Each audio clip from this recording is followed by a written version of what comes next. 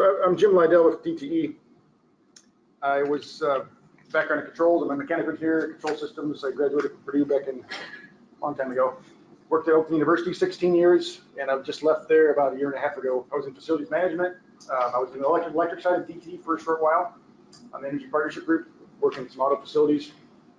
And uh, and I left the facilities group at OU to go start an energy research center. So I was big into desiccants and micro CHP, micro combining power, and biomass. But I came over to DTE about a year and a half ago to support this commercial industrial group and uh, get to play a lot of neat things. So today I'm going to talk about an energy model I put together for grow rooms. I will talk about greenhouses first in general and talk a little bit about a CHP 101, but then I'll jump into this energy model I created.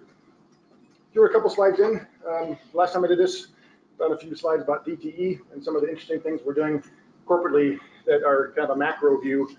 Thought I'd touch on that real fast. And then I'm going to jump into plants. I'll go through that kind of quick. Um, talk a bit about greenhouses, the actual glass houses, which this has started all talking about the big, big, massive uh, uh, cucumber and tomato type glass houses.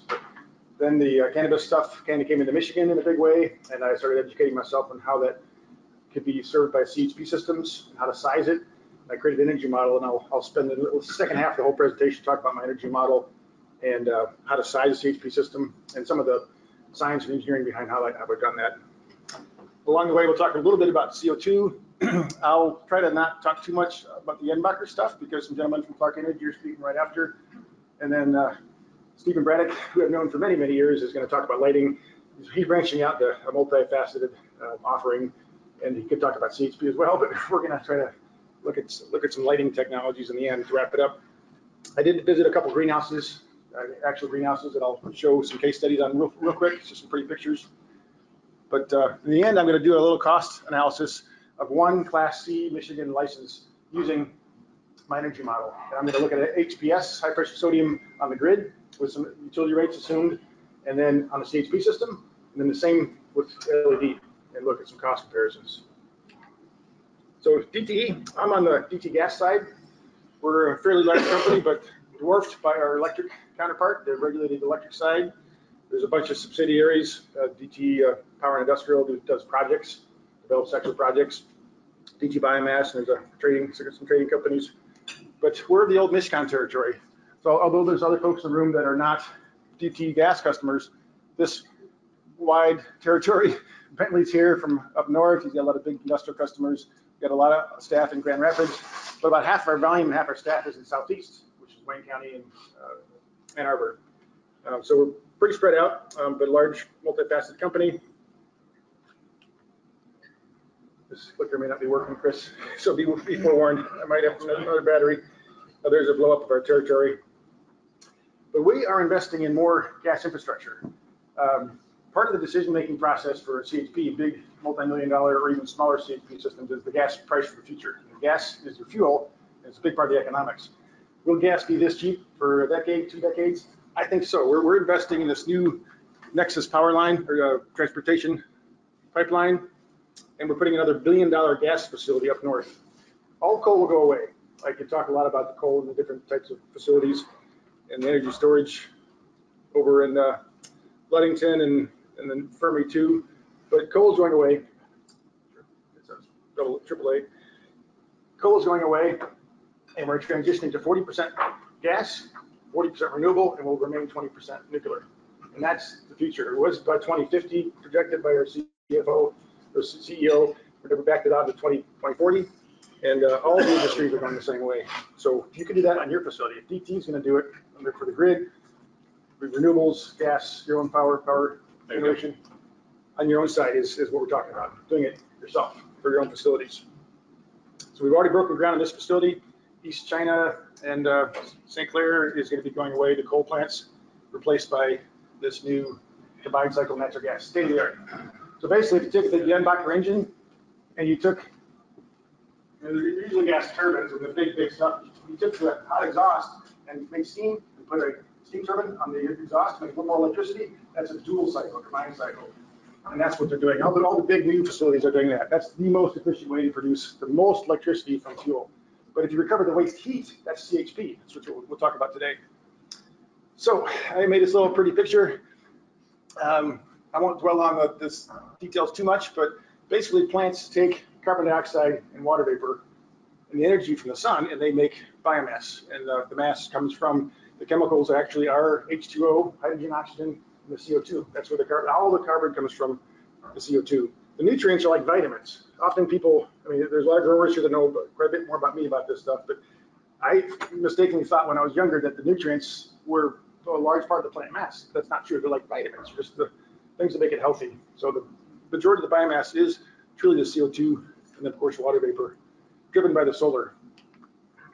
Um, so the chemical process, you're making glucose and you're liberating the oxygen, of course. That's what helps us as animals breathe because we take the oxygen and do just the opposite. So you're making biomass from the feedstock of glucose. The chemist among us, so almost all life on the planet, 99.9% is supported by this chemical reaction. And that's what we're talking about today. So to do it in a controlled environment in a box, in a greenhouse with light or in a box, uh, we need to provide all those things in a controlled temperature, humidity, and uh, top, properly ventilated if it's artificial, some CO2 environment that uh, is healthy for your plant. So I'll step through this stuff pretty quick here because I want to get to the energy model at the end. That's the fun part about.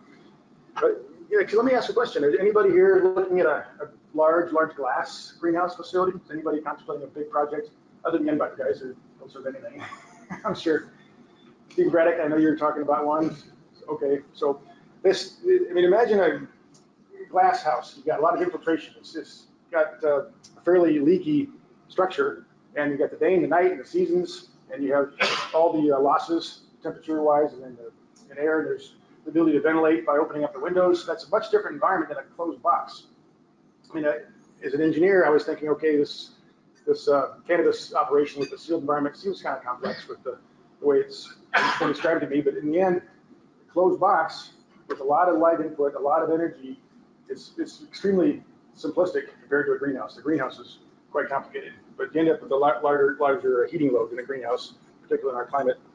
Um, but there's also issues with cooling and ventilation, and and I'm not going to touch on the delivery of nutrients and whether you're a hydroponic or soil or whatever based. But these are the type of things you want to be dealing with. I had a much longer greenhouse presentation, which which I can share later on with the folks that want to see that. Um, but I'm going to just touch on the different elements real quickly. The structure is key if you're in a greenhouse. I mean, there's so many different things, so many different types of materials and uh, different insulating styles and uh, ge geometric shapes that I could go on and on about this.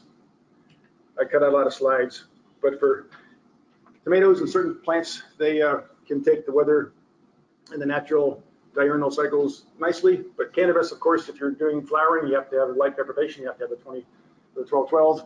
But there are mechanisms where you can have a light curtain and have the deprivation provided.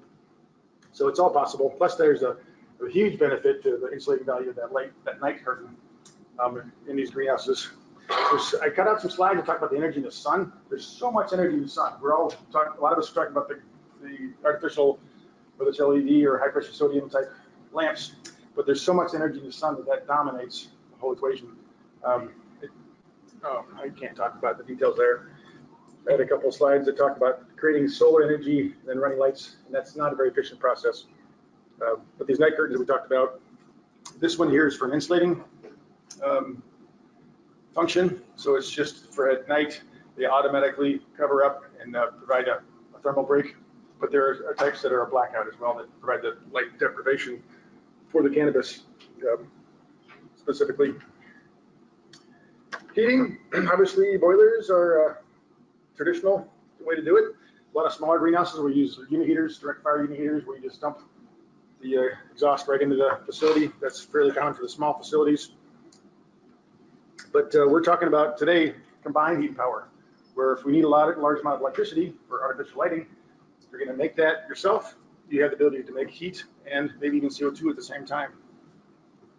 Like I said, I'm gonna, gonna keep stepping through these pretty quick.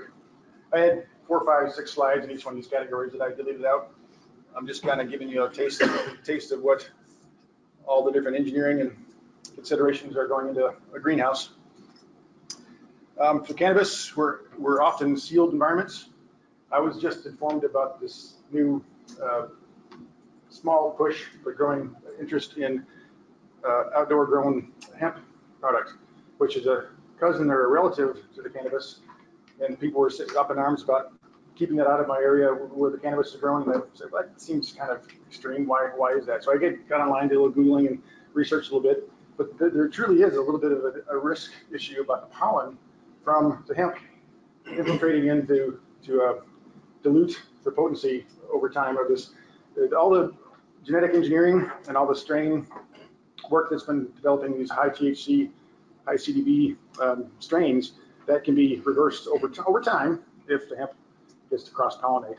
Uh, so they're probably going to drive a lot of these outdoor folks in California back indoors, which is. I've heard that also with hops, hops with uh, next to cannabis, Really? Yeah. vice versa too. Right. So some folks ventilate cannabis, um, some do not, and it, typically they're sealed, sealed hermetically sealed rooms. But I've seen many different styles. Jim, question on that. Yes. Is, is there a difference between cannabis that's grown for medicinal purposes versus cannabis that is grown for recreational purposes? And if that's later in your presentation, There's, no, I don't get into that specifics of that, but there's thousands of strains. You can just go to one website to get some seeds and you'll find 500, you know, hundreds, hundred strains and all the different varieties and uh, sativa versus the other, other style. There's just so many different things. When you're trying to maximize CBD, trying to maximize THC, uh, there's, that's, that's a whole two-hour presentation alone, but there's, there's many styles, many, many, many. And, uh, I'll just keep going. So cooling, um, big greenhouses typically don't cool. Some, some parts of the country, other parts of the country, maybe you'll, you'll ventilate, you open up automatic shutters, or you have a, a big uh, evaporative cooling pad where you have one side, one sidewall with a huge array of evaporative cooled pads and you draw the air through. That's, that's pretty common, but it depends on the climate and where you are in the country. But when you get into cannabis, which you'll see in a moment, cooling is dominating in your HVAC, cooling and dehumidification. A lot of options that I'm not going to talk about, but there, besides these engines, I nicely deleted out all the talk about engine-driven chillers and other heat pumps and other VRF systems, but there's a whole variety of gas uh, appliances, gas things for smaller scale operations that uh, would be a, a different twist than what we're talking about today. So if we have an abundance of free hot water from CHP, which we haven't talked about yet, um, you know, absorption chillers, these, these guys in the bottom. So these, these guys are engine driven, direct fire. There's some, uh, like a Robur, Robur here is a smaller five ton, small guy that runs off a direct fire flame for the uh, ammonia water absorption cycle. But when you have a lot of abundance of, of waste heat, then you have these absorption chillers. There's a, a lot of US companies have stopped making them, but the Chinese and the Taiwanese and the folks in, in uh, Asia have continued to develop them. So they're much better, much more efficient. I've been told less maintenance. Um, so all the US guys are partnering with someone else. So there's Hitachi, there's Broad, uh, Thermax, uh, there's some Thermax machines at Michigan State, Lansing down downtown at the uh, C3 system for the state. Uh, Western Michigan, Kalamazoo has some has Thermax machines. I, I met with the guys at Broad at ASHRAE, so they're they're one of the big ones. So there's a lot of absorption chillers, and that's it's a thermally activated chiller, thermally activated machine, typically lithium bromide water solutions. Humidity control in a greenhouse, it's typically windows open or shut, but in a grow room, you have to, act, have to actively control the humidity in a big, big way. We'll talk more about that. I didn't start my timer. Phil, could you keep an eye on me? Uh, I know I'm going fast, but I want to get to the second half of the stuff that's more interesting to the cannabis folks. So you're going to actively be refrigerating or doing some kind of uh, dehumidification. Desiccants are great. I used to do some research and I love desiccants at Oakland University. We put in a 400 ton geothermal heat pump building, geothermal solar thermal hybrid. I had about a million dollar solar thermal system on the roof that, that made hot water and then reactivated these desiccant wheels. It was the first platinum LEED USGB seed LEED building in a college campus in the state, the geothermal solar thermal hybrid, based upon heat pumps and desiccant. I love desiccants, but we've been pricing some systems, they're fairly expensive. They work great, especially if your cannabis lights are off, you need to dehumidify and not cool. Um, but I'm not going to harp on desiccants today. It's just it's an option. And if you have abundance of hot water and these absorption chillers, that's probably not what you want anyway. You're gonna use a four pipe, four pipe fan coil, which I'll show you. So a desiccant system, uh, this is the last I'll say about it, is often a rotary wheel, rotates around and there's a honeycomb structure with silica gel or activated aluminum, some kind of desiccant, know, that little package you get in your electronics when you buy it. Vegan material, do not eat, that's the desiccant. Absorbs water really, really well. Heat it up and it liberates that water, sends it back out. So we're doing the same thing here.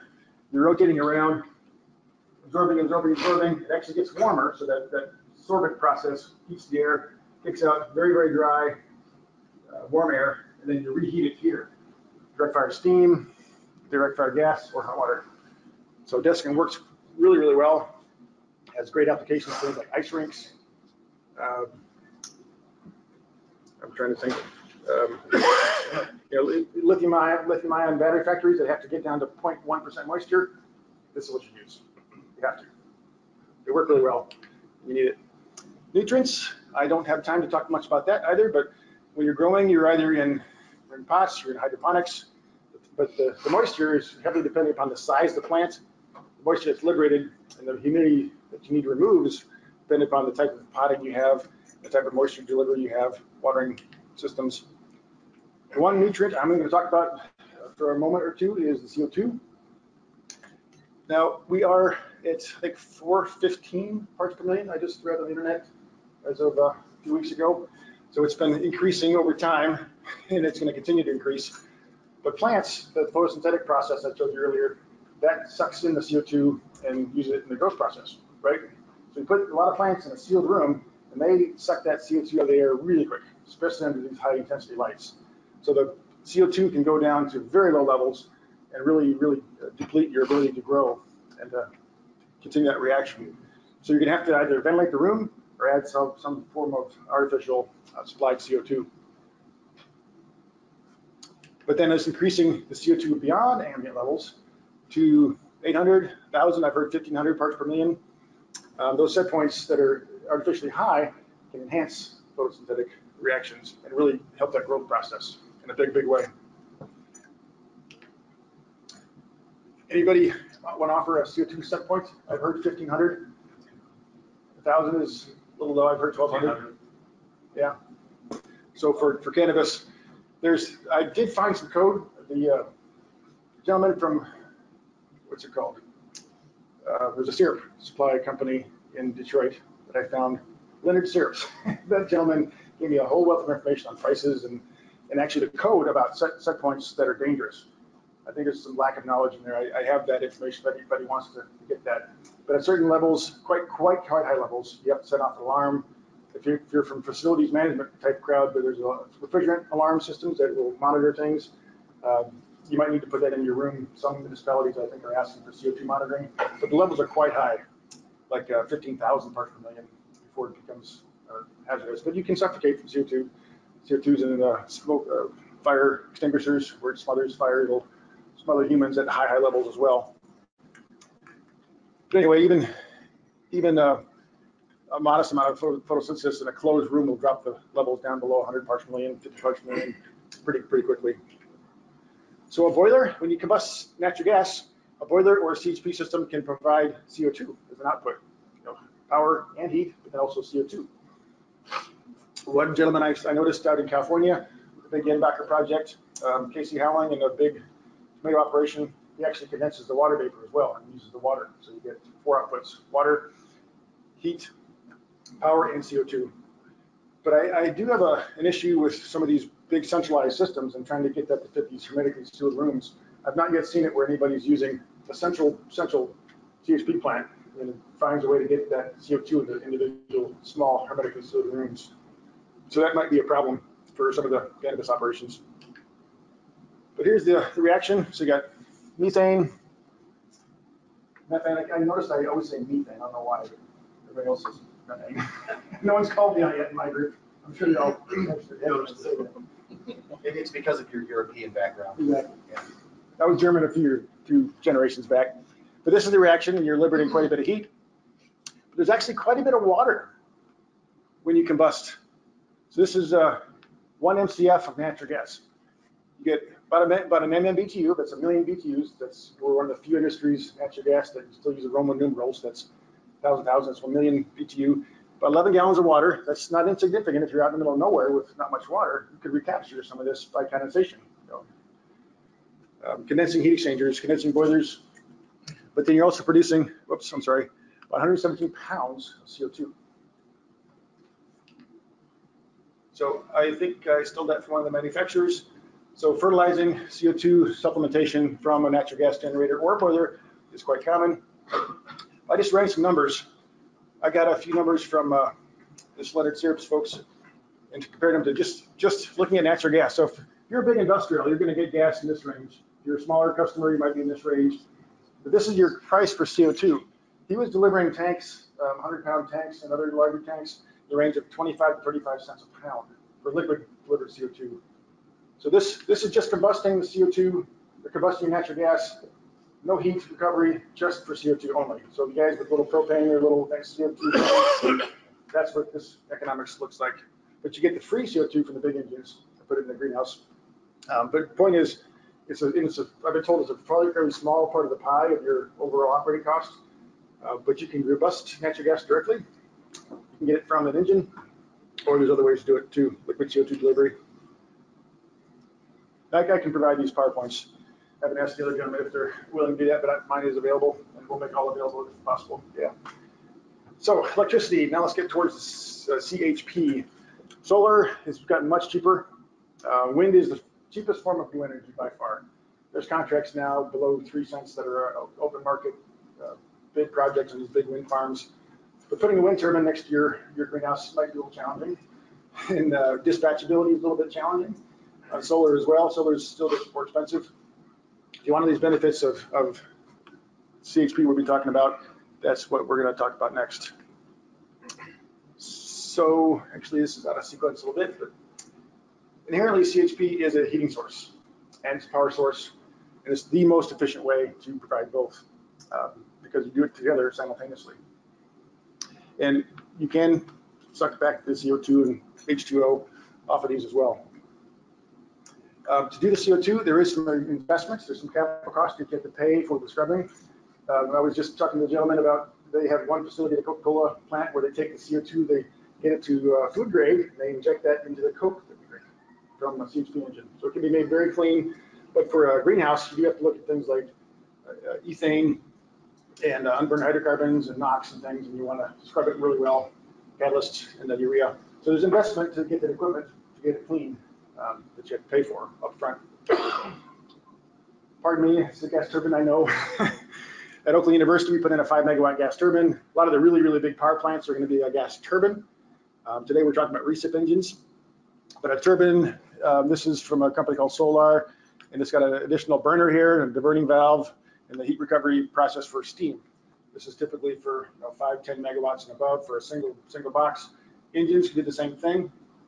But if you want to make a lot of steam for industrial process or hospital, these guys are uh, a little bit hotter exhaust, but they're also less efficient electrically. So if you need a lot of electricity, like the greenhouses, you know, this might be 25, 28% uh, electrical, elect- electrically efficient. And the big Jenbacher engines can be 42, 43, 44, 45. 45. Wow. Controls and the combustion processes are really advanced. Um, talking to some folks about some old, old uh, gas field engines, Caterpillar engines, and they were saying they might be 25% efficient. Well, if you have an old 25% used engine you want to retrofit, compare it to 45% efficient new engine, and do the math. It was shocking the difference. Uh, they can produce some steam, but they're much better at producing hot water. They can produce hot water in abundance. About a third of the energy is coming out of the jacket water. About a third, this is really rough numbers, about a third is in the exhaust, and a third, maybe 45%, about 0.45 can be coming out of electrical three phase out of the out of the drive. They're much more flexible and turn down. They don't mind starting and stopping, and ramping up and down. Turbines like to just run.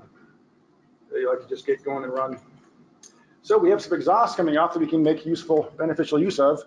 Hot water, uh, heating, space heating, domestic hot water, desiccant systems I talked about, desiccant system, but that's a fairly low temperature. Single effect absorbers. So I gonna wager that mostly we're gonna look at the single effect absorber. They got this coefficient of performance. So for every million BTU you put in, you get about 0.7-ish BTUs of cooling out the other side. So it makes chill water from hot water. Lithium bromide or other systems, more expensive, um, possible if you have really hot water or even steam to get this double effect unit, then you can look at a, an increase in your efficiency of chill water production. It's much, much hotter temperatures. So keep that in mind. Single effect absorbers, we'll talk about that later. How much time do I have, Phil? There's a, About twenty minutes, or less. I'm gonna play this little video here. It's from the Energy Solution Center. It's a group that is the consortium of natural gas utilities. We get together and talk about technologies and sales marketing things. And this group has a really good CHP consortium. This is the website. If you want to learn a lot about CHP, to me, that's, that's the best website to start at besides today. I'm gonna play a little, kind of a fancy short uh, video, six minutes, five, six minutes. This informative video is brought to you by Energy Solutions Center.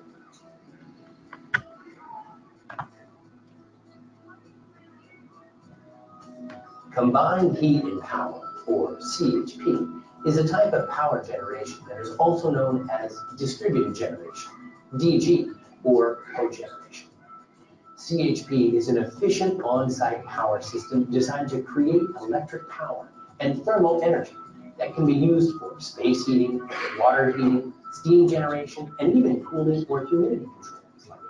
Basically, CHP is the simultaneous production of two different forms of useful energy, heat and power, derived from a single primary fuel source, like natural gas. With combined heat and power, the fuel enters the prime mover and generates electricity while simultaneously capturing heat that would have normally been wasted in the production of electricity. It then utilizes the heat recovered during power production in a productive manner. By capturing heat that would have been wasted and putting it to use, CHP systems reduce overall energy consumption. CHP systems typically consume a third less energy than the total energy consumed to produce and deliver the same amount of electricity from a utility electric generation plant and heating produced separately on site. This is especially beneficial for the environment because greenhouse gas emissions are reduced when less overall source fuel is consumed as a result of the CHP system. In this example, a building requires 30 units of electricity and 45 units of heating. To meet this need, 94 units of energy will be consumed at the electric power plant, and 56 units of energy will be consumed in the building's heating system. The combined efficiency of the grid electric and on-site heating is 50%, and it uses 150 units of energy in total. Conversely, a CHP system only requires 100 units of energy to do the same thing, with a higher system efficiency of 75%. When compared to typical power generation facilities that produce only electricity, the benefits of the CHP system are outstanding. Any facility that requires or can utilize significant amounts of thermal energy could be a great fit for CHP. CHP is economical, highly reliable, and environmentally friendly. When using CHP, your overall energy savings could be as high as 35%. Of course, the economic benefits are based on the cost of electricity, the match between thermal demand and thermal production, and the complexity and cost of installation. Let's discuss energy cost savings. More than two-thirds of the North American CHP systems are fueled by low-cost natural gas.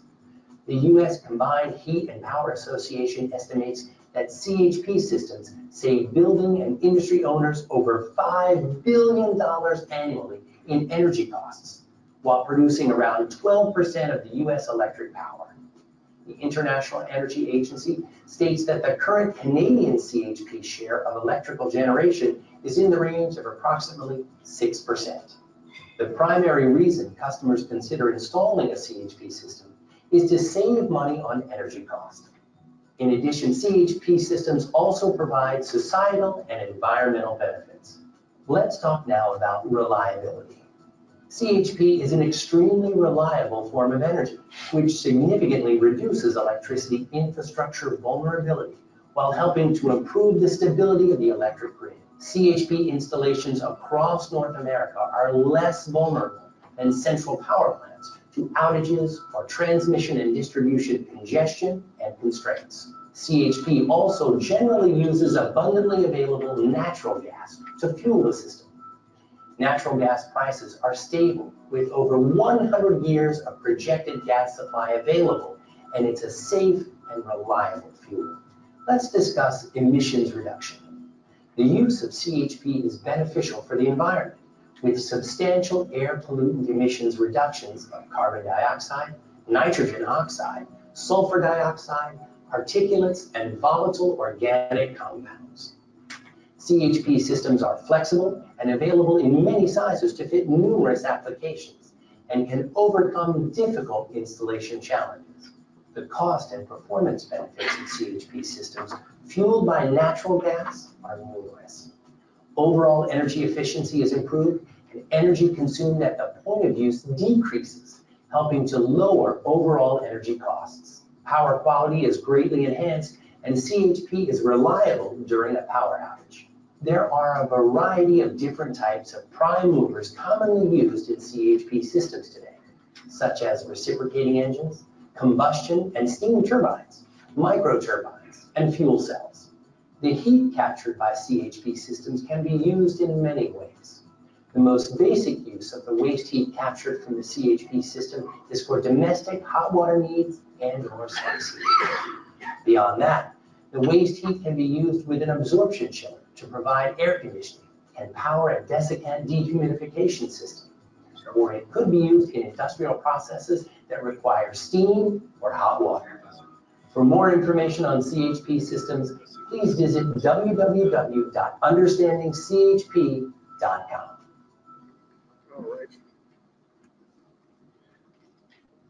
It's just a well-made video, so I thought I'd share it with you. So this spark spread is a term that we talk about the uh, difference between your fuel price and your output, which is mainly, the hot water is uh, nice, but it's it's also comes from natural gas, which is relatively inexpensive. So the value of the hot water is much less than electricity. The electricity is really the big value that you're getting. So here is a spark spread. This is kind of a graphic to drive the point home of the electric costs going up. The axis here is more and more electric, and I've got a fixed cost of natural gas here. And that spark spread is the ratio of the two. So if electricity gets more expensive, the spark spread gets more and more lucrative. So that's, that's where the money's made, is that large spark spread. So as the gas price gets cheaper, drop it down, $6 gas, 450 is doable in uh, large industrials. You're going to probably be buying gas for under $4 a gas, and your local distribution company like ETU consumers will deliver it to you. So 450 is doable for big, big customers, and that's just easier to make a really large spark spread. Uh, Michael Youngblood and I did a study for a large local hospital, large hospital with a, I think a six, seven million dollar, six, six, seven megawatt unit. It turns out that the savings was $2 million a year, five-year payback, and it lowered their carbon footprint 42%. So they're seriously considering it. And that's the kind of stuff that I do. I visit customers and look at existing facilities and analyze what fits their facility. So for a new facility, it's a little bit different. We'll talk about that briefly. I stole these graphics. I might be stepping on Chris's toes here. We're gonna, make my life really easy, Jim. this is, uh, yep, I'm trying, I'm trying. So I'll just gloss over this. So the liquid CO2, I don't know about the numbers. This was done quite a while back in a boiler versus the CHP system that uh, Chris is gonna talk about here in a few minutes, where they're recovering the CO2 and providing power and heat. That's the Jenbacher drawing. I took this when I was visiting a facility over in, in Ontario, got a 10, 12 megawatt Jenbacher project at a tomato glass house, big, big, large glass house. And this is the scrubbing system, so they got a control system that handles the urea, and the scrubber and uh, catalyst, catalyst, two, two catalysts, and then a scrubber that injects urea. Like my Volkswagen, I got a Volkswagen parked out here. It's got a small tank of urea in the back, that little box of uh, DEF, DEF fluid that you put in trucks. Uh, so my Volkswagen diesel has a scrubber, just, just like this, but much, much smaller. That'll, that'll produce relatively pure CO2 that can be used without the ethane, the hydrocarbons and things, and the NOx. The lighting, I won't touch much on this. Another gentleman is gonna talk more about lighting. He's been doing this for many, many years, and he's got a really good handle on some of the newer emerging LED fixtures out there. So I am a big fan of the natural light. Um, greenhouse and growing outdoors is an option, but uh, I've just got one slide. Um, Stephen's going to talk more about this, but they talk about this photosynth- photosynthetically active radiation. We, our human eyes were evolved to use the middle, middle of the spectrum that's uh, a little bit different. So when you have a light meter, you are measuring lumens under a different spectrum. So it's really all about the spectrum. They, they kind of artificially say everything below 400 is bad, everything above 700 is bad, everything between 400 and 700 is good. That's what plants like. It's kind of a somewhat artificial um, construct, but that's what a greenhouse grower, and that's what the PAR is looking at. But I'll, I'll defer to Stephen for any, any more information on that. So I'll show you a couple, couple quick slides, and I'll jump into my energy model, which I'm going a little long here. Houweling Tomatoes, I did not visit them yet. They're out in California, just north of LA. Large, large facility, probably one of the most advanced that I've read about, read about online. This gentleman takes a large facility. He's got solar thermal, solar PV, and a big Jenbacher project. A lot of tomatoes, a lot of tomatoes. He actually condenses the water and uses the water, treats it, peels, bounces it, and puts it back in hydroponics. It's all hydroponics. That's pretty advanced. Once again, a Jenbacher. But the big, the big guys, they, they've done a little bit different. In Michigan, you're not going to be able to put in a 10 megawatt, 20 megawatt system and sell the DTE. You're going to want to design a system right for your facility. Maybe as an island, but you're not going to have a very good job selling back to the grid. It's possible, but very difficult and not likely. So they're selling back to the grid.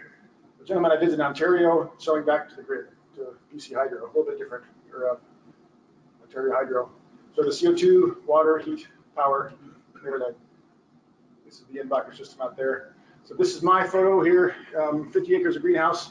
They have five acres under lights only there. And uh, he's got a CHP system. There was a grant process with the a tender that they called it, and they put in a system, but they still power back to the grid also. It uses some, but not, not that much. He only has five acres under lighting. The 12 megawatt system's quite, quite large for him. It's perfect for his, him as a boiler, but it, it over, it overproduces electricity. This is a facility a couple years ago, a year and a half ago. So we got five, five acres of HPS, a lot of hot water. These guys, you want to put a big, the glass house is the, the dynamics of day and night. When the sun goes down, you need a lot of heat like fast. So you have a big buffer tank because the engine wants to run under different parameters than just producing heat. And the buffer tanks are a requirement for glass houses. Probably a smaller system, a smaller buffer for cannabis. I've not yet seen one, um, a large one designed yet, but I assume a small, smaller buffer tank would be advisable. Just on that point as well, Jim, the reason why the guys who tend to grow vine crops tend to have such big hot water stores, it's not just about maintaining temperature, they use it for maintaining humidity. And one of their biggest problems is if they get condensation on the fruit, obviously you can get biological growth. So they literally just shot the greenhouse with a huge slug of hot water to drive the moisture off the fruit and they open the vents. So they actually use it for humidity control as well as just heating. And it- it's, it's pretty unique to the vine crop folks. Gotcha, gotcha. And I've heard also that uh, to melt snow off the roof, you can, you can put some heat in there to just burn off the snow because the low R value of the glass. So it's a multifaceted. These, these pipes here, there's actually a, a uh, little truck, little train that rides with the scissor lift. That's the man lift for the picking, but that's also the hot water pipe. That's the hot water distribution system. Quite elegant. And they got automated sprayer that goes up and down and sprays on that rack, on a, on a rail system. Some places make you put on the head guard, head garb and the booties and things, and we were just walking around, he picked tomatoes and was, feeding, tasting them, and it was pretty, pretty laid back. There's man, man lift on the rails. Jenbacher systems. I got a page through here. I work at a- with gas guys now, I'm always going out, going out to take pictures of the gas meter, I don't know why, but every time I always have to take pictures of the gas meter. This is, this is, I mean, need gas. Yeah, yeah, well. I'm learning the good habits. Yep, hear that, hear that hum? Uh, I think there was a video here, I can't show it if you have it on. Other, other system in Michigan, this is in Michigan, uh, Coldwater, they put this large municipally owned, uh, 13 megawatts right next to a big, what's the, what's the owner of the company, the great the cucumber, meta, Blessing. um, start with an M, Macedonian, Macedonian facility. So they're right next door, and they're finalizing the, the heating and CO2 delivery as we speak. So that's a relatively new facility and a big Jenbacher project as well. Oh, sunset. Yeah, I see a lot of those in the grocery store. Similar, large, large facility. They got a fair bit more lights. Those two guys. Look familiar? Turbos, big old turbos and big old machines. Natural gas. This is part of the scrubbing configuration, the uh, urea injection. Radiators, you're not using the heat, you gotta get rid of it somehow.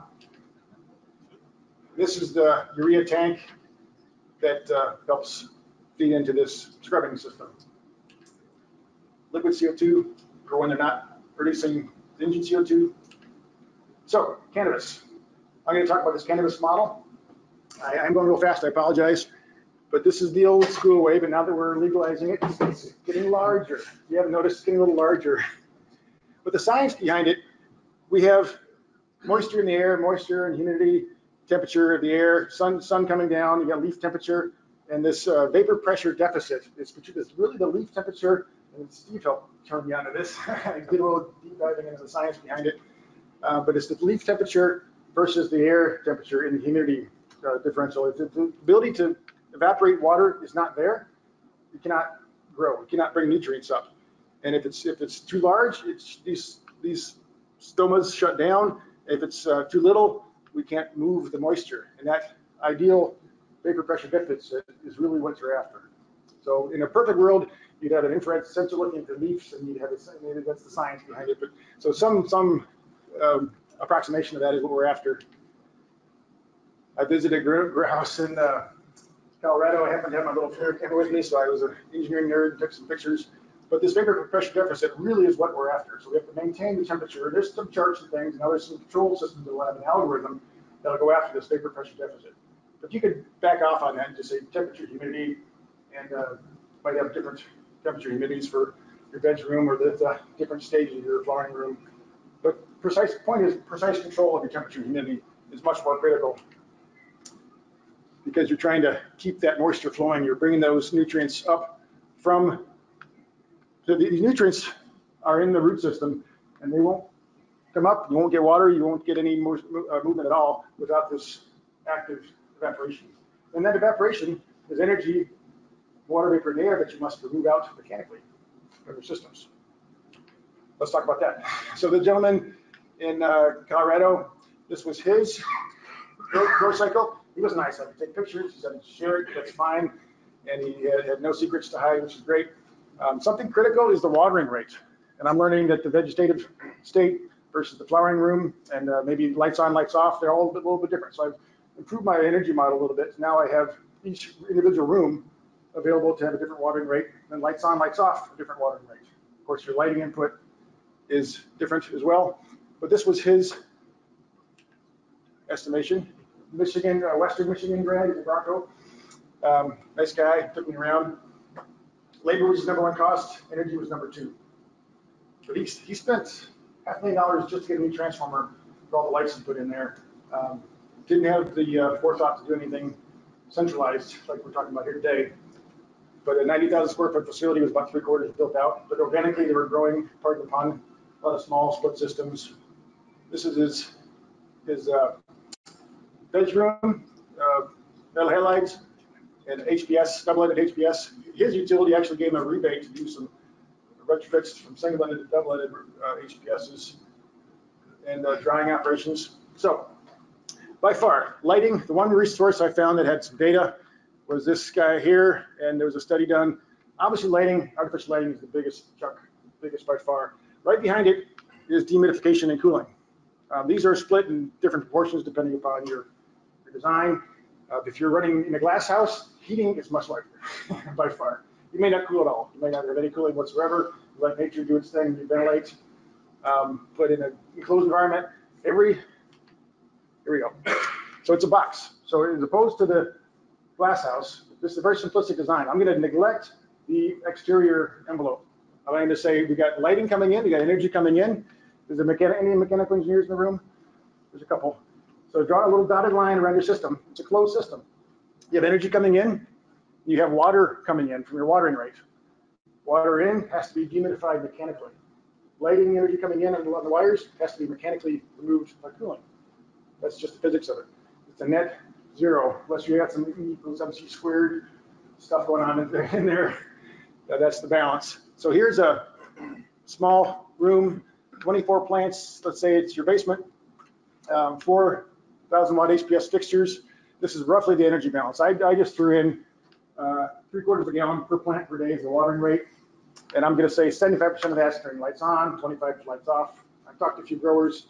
Um, Steve called them one up and it was pretty, pretty close to that, right when we were having coffee one day. Um, This is the load, sensible, which is the you know, dry bulb temperature, that's the cooling coil. And then the moisture removal is this latent load. And I could, I could ascribe a pints per day or a grams of moisture or a grain of moisture to that. I Love all these British units. We got a British gentleman sitting here. Very few people use these weird grains of moisture. How many fathoms is that? Uh, That's a couple of leagues. Double these? So lights off, your, your electrical energy goes away, and now you have transpiration. So you're still evaporating some water. Plant's still sitting there, you're still evaporating something. So now you have no heat load, but you have a cooling load and latent energy has to be removed. So it's a little bit different dynamic. Desiccant would be really good here, but I've noticed that those, those machines are fairly expensive. And if you're gonna do a four pipe fan coil because you have a lot of hot water, desiccants really are a cost you don't need to bear. Because this is the solution that you'd have if you had a lot of hot water, hot water coil, and you had an absorption chiller, then you have pretty much, not free, because you have all the capital equipment you have to pay for. These systems are not free, but once you have the equipment, the operating costs are very, very low. The dehumidification is from that coil. Like your, your uh, AC in the basement, you've got a PVC line going to the drain, that's the dehumidification. That's the latent energy that has to come out. Okay, so here's the spreadsheet. It's been growing in little steps over the, over the years. I've got inputs. I'm gonna keep on improving this, and I'll, I'll share this. This is not a, a million dollar consulting job here. This is my, my knowledge. I wanna help size systems and get the word out. So I'm gonna, if I share it with you, I want you to just give me any feedback and give me improvements and make it a closed loop so we can keep improving this. Inputs are here. I- I'm gonna, my next revision, I'm gonna put all the inputs that are editable in one little box. But then the lighting schedule. So it's best if you have all the different rooms separated out, so you can look at the watering rate, look at the lighting rate, and the schedule. So these, I'll blow it up in a moment so you can see better. Then the outputs, know, sizing a CHP system. You can size your electrical load. If you're an electrician trying to size the code required amps on the panel, a little bit different than sizing a CHP system. You gotta balance your lighting loads a little bit differently for a grid tied system versus a, a uh, island system that you're, you're paying for your own system energy. So here's the inputs. I, I can't talk too long, but I just, last revision, I separated out the watering rate at day, the watering rate at night, and I separated out the bedroom and uh, room watering rates. You can pick those individually at will. You could size per fixture and say, I'm going to do this many plants, but you need to know the plant count. Basically, the plant count is the input, the watering rate input is required, and your light fixture and light schedules. That's the core information that I can use to feed this model something that will then see, like, uh, let's say you're on the grid and you have a really heavy demand charge from your electric rate. You probably stagger all your lighting at night. Do it all at night. Unfortunately, your staff has to come in at night to do their stuff, but that's one way you do it. But if you're on your own grid, you want to balance it out. You want to equalize as best possible. So here's 12 on, 12 off for your flying rooms, and then I'd have six hours off for the uh, bedrooms in this, this state people have different ideas, different nutrients, different strains, different things. The output is here. So this happens to be a one Michigan Class C license with 51 plants. There's a little bit of debate that I think is not quite settled about the clones. I read on the internet, and my understanding is that all your plants with any kind of roots at all are a plant. So I put a bunch of those plant counts in the clone room and not all your 1500 flowering in bedrooms, which would be nice. As a business man, you want to make productive use of those if you can. I see you guys smiling back there, so yeah. Um, I think I misplaced this guy. Get out of there. Sorry, that was a, a lost slide. So this is a grid tied system. So electric chiller, whether you have five ton split systems everywhere, or one big central central chiller, or a VRF or whatever, in a boiler, you are going to need some heat in Michigan most likely you're not, if you're planning a site, you want go all electric, maybe you can use a heat pump. Um, but chances are you're probably still gonna run natural gas at the site because you're in Michigan, you're not in Arizona. But this is a typical layout of a grid type system. But for a CHP system, we've got power, we're generating for our lights, and the heat is for heating, and then of course, this absorption chiller. You're gonna need a tower. Most of the big, big chillers, you can get a few smaller, like a hundred ton Mizaki can be air cooled with, uh, no, chill- no, uh, condenser water, but the big ones need a tower as well. So this is the layout of that. So what I did was I said, okay, let's look at three, three different variations of this Class C single building. So this is the output, this is my energy model, and I ran it three times. So I have 300 light fixtures. Uh, First, I started with 1,000 watt HPS, then I used one of uh, Stevens 600 watt LED fixtures, one for one. I think there was four plants per fixture. I pulled some of those plants and put them in the clone room, mother room. So here's, here's my HPS on the grid, HPS on a CHP system, nice new green Jenbacher. Uh, or two or three, I mean, designing, how, you- how you design your island is another, another discussion. Then an LED system with a 600 watt fixture in that same configuration. So three systems, does that make sense? So kilowatt, I did, uh, first your connected load, lighting load, but then you balance it out. You balance it out like I showed you on the uh, 1212s, you can do staggering and basically drop your flying rooms load in half because half are on, half are off at any given time. So your balanced load, then I put in 20% more. I didn't engineer the building exactly. I said fans, pumps, uh, circulatory fans, hallways, the office, 20% more. I just threw that in there. That's this load and then the cooling. The latent load in that model kicked out a cooling load. So you see the power goes down and your cooling, resulting cooling load goes down with the decreasing. So lighting energy, now I totalized it for a year. One year, this is your megawatt hours per year on the grid. And uh, LED, drop down, I'm sorry, grid, CHP is the same. LED, drop down. And then this is the total. So this, this isn't really anything I use, it's just for your reference. But this number here, and this is what you're comparing. And then the cooling, electric cooling on the grid. But when you're using your own island, you're going to make the uh, investment, buy an absorption chiller, and now we're getting that cooling for free. You got to pay for the chiller, the absorber, and now the cooling electric is zero, stepping through. But uh, for for the HPS, I didn't buy any boiler fuel. Uh, a lot of a lot of hot lights. I'm saying you don't need it. Uh, for the HPS on the CHP, you're buying CHP fuel, a little bit less on the LED system. So I used 12 cents per kilowatt hour, maybe a little high, maybe a little low, depending where you are, it's an average. Uh, for a big industrial site, let's say you had five, 10 Class C licenses, that's your industrial customer, probably a lower rate. But just for a starting point in my model, you can plug in anything you want. Annual cost for electricity, and I'm using $5 gas. Average number for a large customer, you should be able to get $5. Natural gas purchases, and then the totals. So this is operating cost. No maintenance, no maintenance in there, no maintenance contracts. These fine gentlemen will be happy to hook you up with a maintenance contract. Local folks can do that. And then your, uh, your capital costs, you gotta finance somehow. Most likely you wanna finance something. So add in your maintenance costs, and your finance between A and B, it's about half, over half a million dollars a year. So on a retrofit, you're coming in, you're buying the CHP, the chillers, the fleet.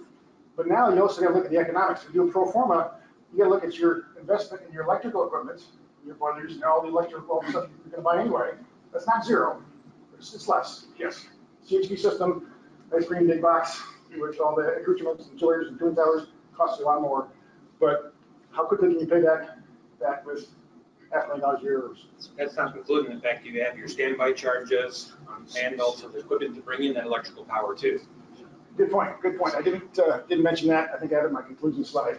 If you're gonna, if you've got a site, um, you should know what the infrastructure is in the vicinity. Do you have high pressure gas? Do you have sufficient volume of gas? Do you have three phase power? Can the utility company get you that power? What's the cost to do that? How many months will it take to do that?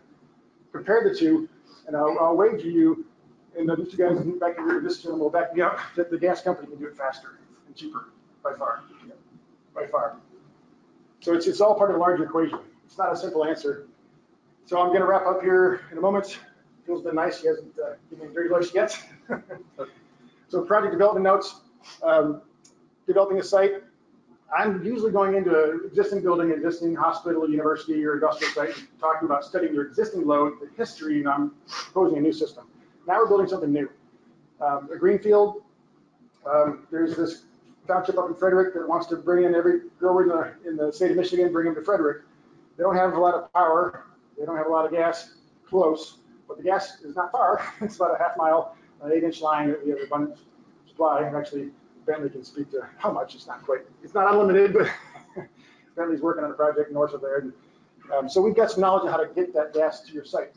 Uh, Other territories, non-DTE, there's other people you can talk to, but this is the kind of the things you want to look at. And then like uh, Stephen said, the electric, electric chilling, well, I, I'm sorry, I, I mentioned this, but then you got to add to that the cost of your infrastructure, A and B. It's not just infrastructure B next to zero, it's your electric infrastructure delivery to the site and your gas infrastructure delivery to the site is a comparison. You want to look at the net. That's, that's important. That's often overlooked by some people in the very beginning. And then if you want to run a, you know, three-year pro forma, three-year business case, or a five-year, for a university, I'll look at a twenty-year pro forma. For you guys, that's up to you, whether five-year business plan, ten-year business plan, that's your decision. And also, so let's use Frederic, for example. Let's say, let's say Frederic needs two million dollars to bring in the sufficient volume to, to handle thirty class C licenses, I forget the numbers. Another one of our account reps, Andrew Asher's taking lead on that. We're talking to some folks.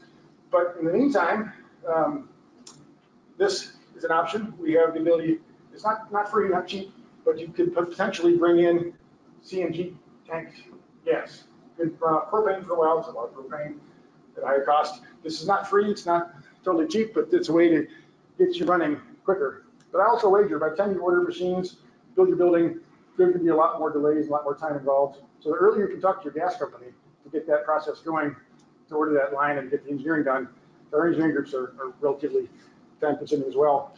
But this is a stopgap solution that can get you there faster. I will wrap it up here. Stephen is going to talk about LED lighting. Um, there is a benefit on not just the lighting side to go LED, but also it lowers your power consumption, your operating costs, and then your CHP capital costs. All of that kind of goes in line with this lower LED power supply. Uh, Fully indoor grow, I delete a lot of my, my greenhouse stuff out and add a lot more grow stuff. I'd be happy to talk more about the details of my energy model or to bring it to you and apply it to your operations. Um, I've been passing along, so Stephen's getting knowledgeable on that. Um, Clarke Energy and a lot of other folks will, will be getting the knowledge about doing that. And it's not perfect. It's uh, it's my spreadsheet. I'll take it with a grain of salt. Um, anyway, CHP and natural gas can be a much lower solution. I will stop there and turn it over Chris. I was talking really fast there, I know. Sir. Real quick, Jeff, go, or that uh, example towards the end of the five hundred ninety-four thousand dollars a year operating savings. Can, can we quick like in a minute figure out the size of the CHP? Yeah, from that. And actually, the question, question, question is on this spreadsheet here, the size of CHP. Actually, not, I wouldn't back into from this. I used my model, which had a CHP and a chiller size in there. So the, the chiller load, I wouldn't, like the, the chiller load was 91 tons. That's the load. I wouldn't buy 91 tons of chilling. I'd probably buy probably two machines that would handle, like in a perfect world, two 45s and another 45 for a third redundant unit. And the, uh, I think it's the same energy model. This was the, question was about the CHP size. So my total power was 320. So if you look in here in my model, I said, okay, I'm, this is a judgment call. As an engineer, I'm gonna say I'm gonna take that 320 kW, which is the lighting load, the balanced lighting load plus 20%, which that 20% is something you can pick on your own, or you can actually engineer the exact number. I split that in half, buy two machines, and I bought a third. So I'm buying three machines for a total plant of 400, 480 kW. So that's four fictitious machines. You can't buy that side of them off the shelf. You might, for a small, smallest project like that, maybe buy one and uh, have the grid as backup. Maybe you'll buy two. But I mean, that's one, one Class C license is a fairly small project, so you might have many, many. That's, that's the design philosophy. I would normally want to have at least two machines, if not three. Thank you. So that's, that's for one Class C, based upon all those inputs that I put in earlier, which you're free to change as you would like. I think quick round of applause. Other questions from the board? That's right.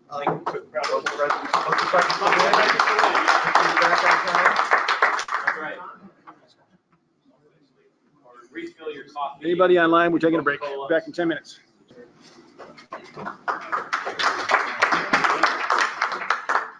I'll start by talking about the elephant in the room, and that's the accident. Uh, Jim pointed out, and some of you may have noticed, I do have one. And this is not a new phenomenon. The finest Englishman that ever walked this earth, Winston Churchill, sums it up perfectly. So there's the thing, the United States of America, Great Britain, two great nations separated by a common language.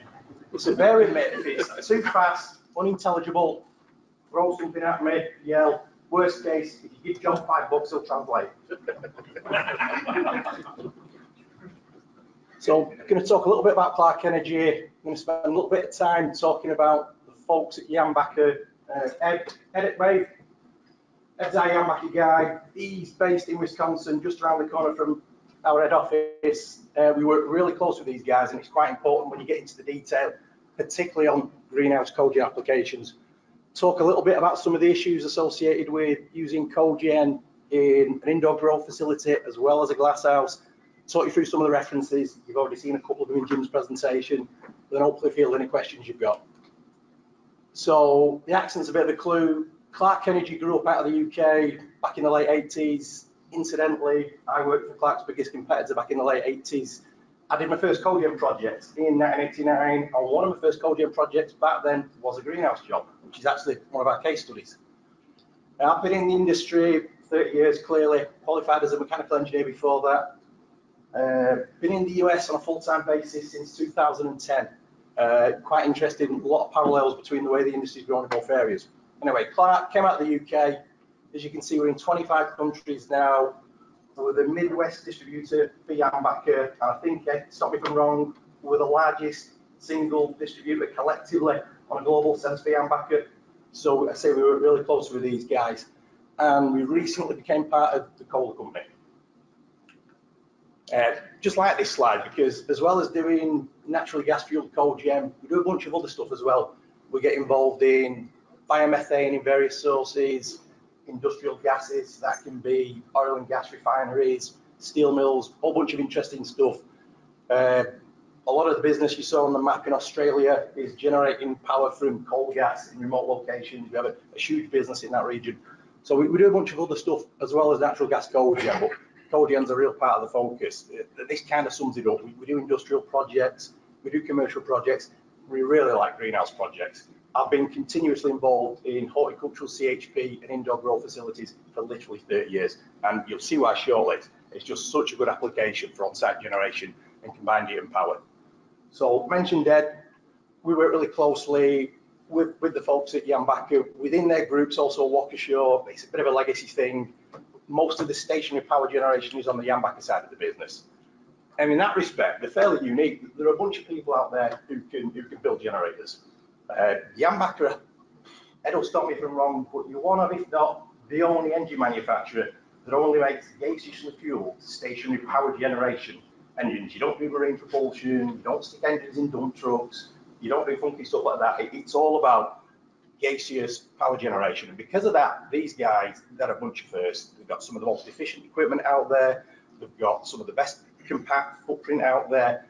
They have a centre of excellence based out of the Netherlands where all they do are grower projects. If anyone's, I've spent a lot of time in the Netherlands, if anyone's ever flown into Schiphol Airport at night, all you will see is illuminated greenhouses.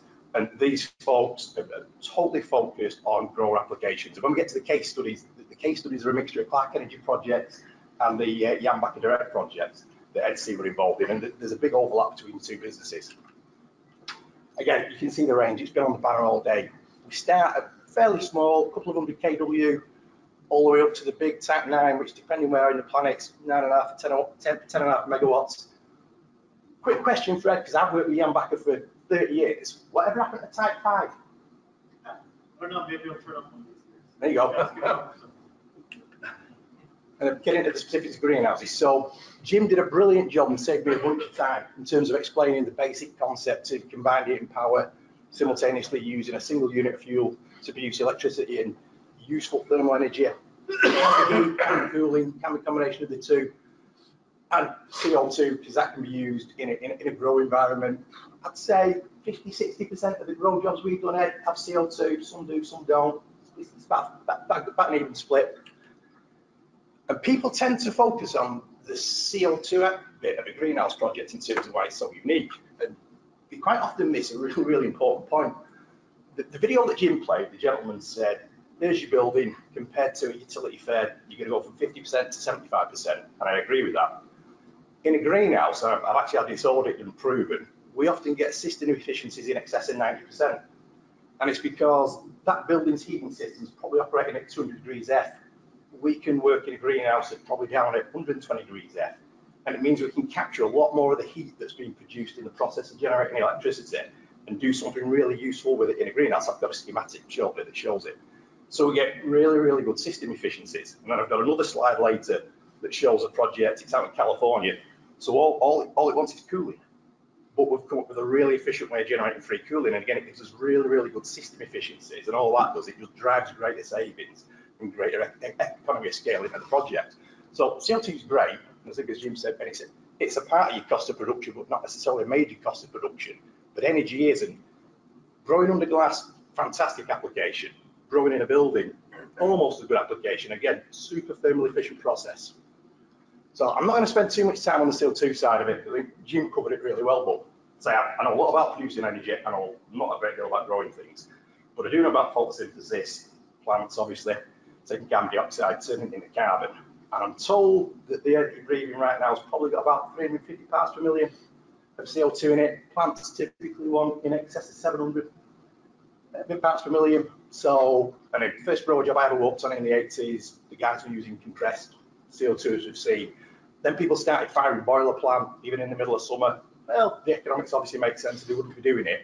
It's been proven, as Jim said, that using a gas engine with an equivalent thermal capacity of a boiler plant will produce more CO2, which will give a greater increase in yield in the crop. It's, it's, it's very established in Europe.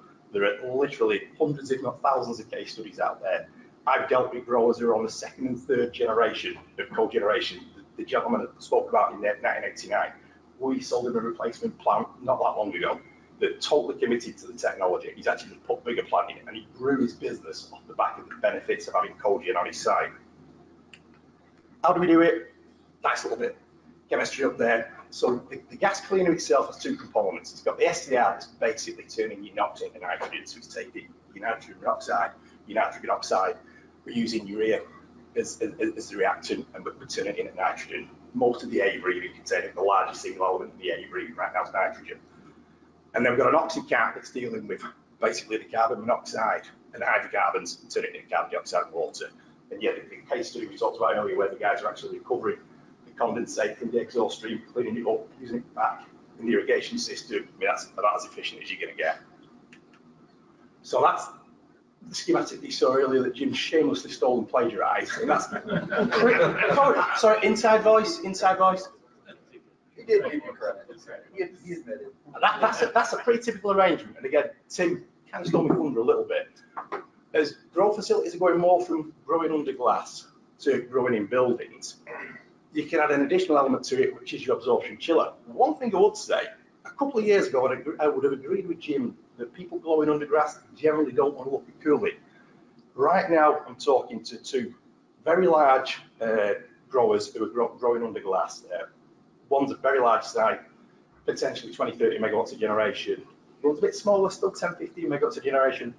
Both have asked me for an absorption cooling option on the proposal that we're working up through because they're both in the region and they've both got issues, not just with cooling and dehumidification during the peak summer months, and there's real benefit in that to.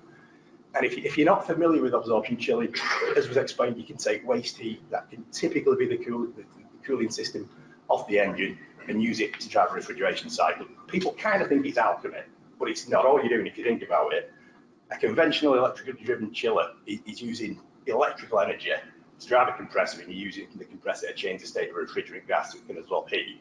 Well, there you're just using thermal energy to change the state of the refrigerant gas. And you kind of break it down like that, it makes a lot more sense. The other thing that people miss with absorbers, if, you if you look at a large compressor-driven chiller, that's got a lot of moving parts. That's got a lot of O&M. We know a lot about O&M because our equipment has quite a lot of moving parts. That thing's got two moving parts. It's got two small pumps in it. So the O&M on it is a guy's going to turn up once a year, kick the tires on it, quite literally.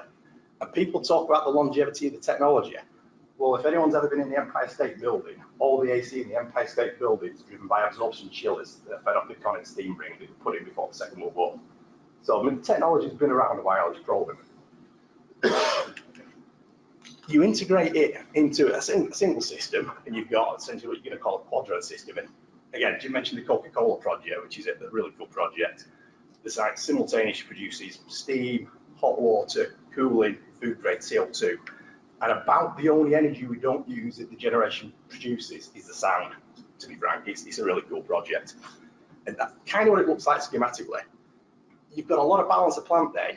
You've got a, a lot of fairly complex technology. And again, just something have in the back of your mind, you need a very sophisticated, very well integrated control system that if you're grid connected knows what the utility's doing, if your island did knows what your loads are doing, that can control the balance of plant, that can provide real-time data. So because particularly if you're off grid, it's, this stuff's business critical. So you need to know what's going on with it.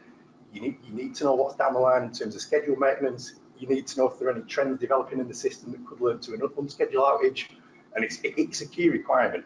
Just going out and buying a bunch of bits and some second-hand equipment, and we've seen people do this for, for real. And then give us a call, and it doesn't. And The place has gone dark. It's like, guys, really? So again, it's just a consideration. So schematically, you've seen what it looks like. In, in terms of real terms, well, that's a, a, good rendering showing what it looked like with the balance of plant. You've got a generator, maybe a couple of big generators, an acoustic box. You've got your gas cleaner that we've talked about. Obviously, if you put anything in a box, you've got to aspirate it, you've got to ventilate it, you've got to attenuate it. These things need air to mix with fuel, so you can, so you can obviously run the things. And that's kind of what it looks like in, in, in, in, real applications. You can locate the facility. Quite often, when we're doing retrofits, these things end up sat outside. We're using up taking up a piece of somebody's parking lot somewhere. In terms of footprint, again, people don't. That, that's a great little picture, but it, it doesn't communicate the physical scale of these things, particularly some of these really big glass houses that we get involved in. Excuse me, what was the dBA on that? Could you go back to the noise? Yeah, I mean that that's typical.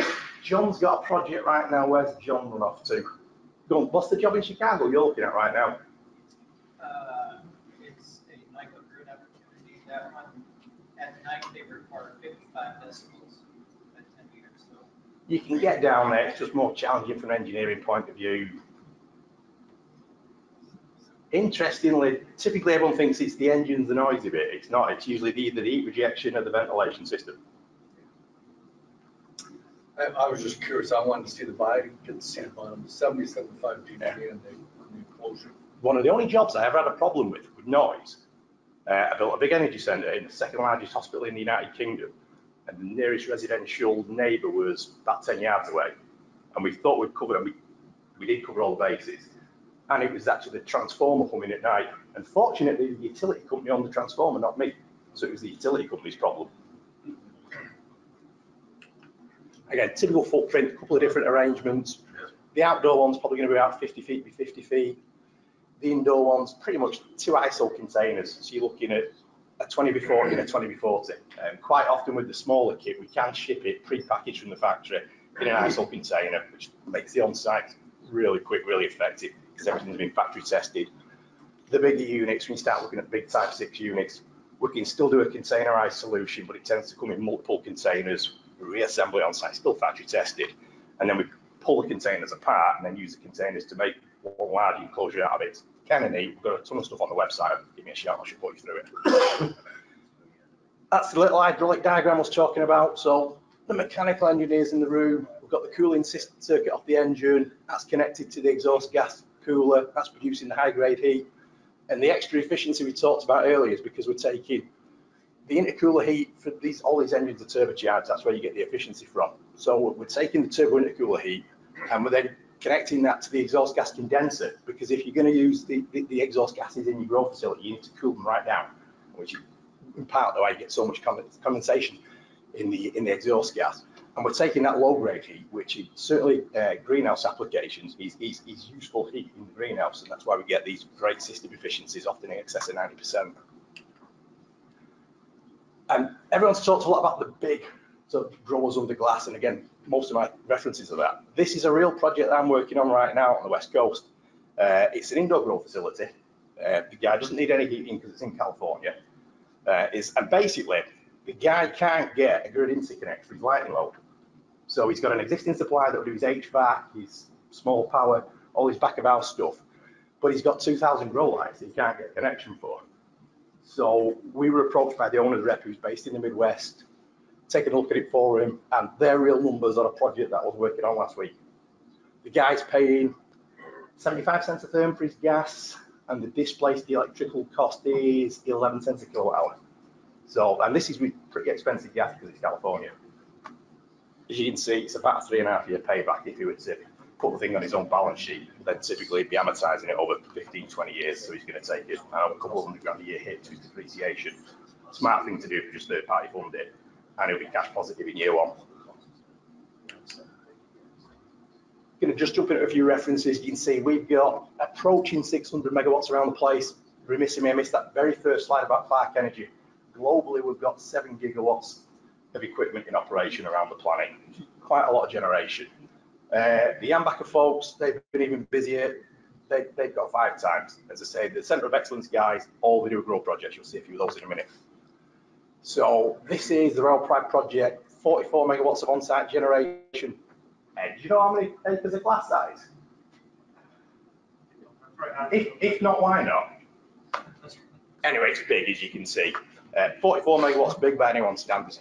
If you YouTube it, there's a really good video tour on YouTube. The guys are so proud of it. They made a bunch of movies. It's been on national TV. These guys are super proud of the facility. And just YouTube it, it's worth it.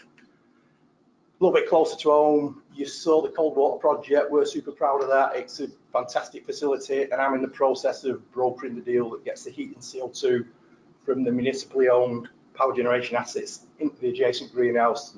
It'll be a fantastic CHP application when we get that closed out.